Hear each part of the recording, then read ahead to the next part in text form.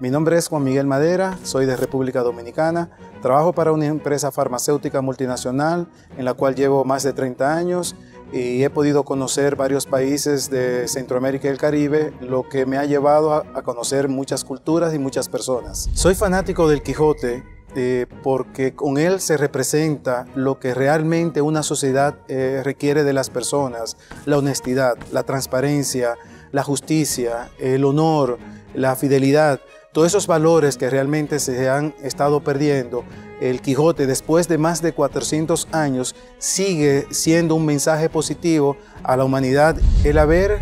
podido tener la oportunidad de incursionar a través de la Universidad Francisco Marroquín en el estudio del Quijote me dio a mí otra fuerza mayor para seguir adelante en mi proyecto que tengo sobre el Quijote y la exposición que no solo conlleva hacer la exposición como tal, sino terminar en un museo donde por primera vez se pueda presentar todas las obras que he podido eh, recolectar por más de 25 años. El valor que encontré en estudiar en línea eh, a través de eh, esa propuesta de la universidad me permitió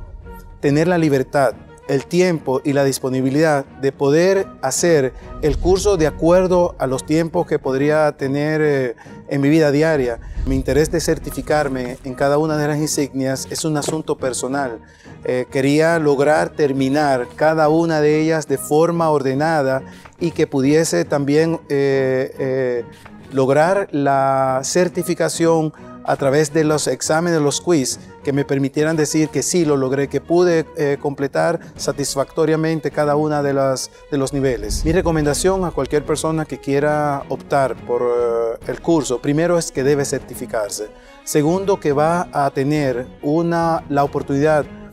de lograr conocer más a fondo y tener otra visión otra, otro punto de vista de lo que es la importancia de ese libro en la literatura y en la vida diaria de toda Iberoamérica o del mundo.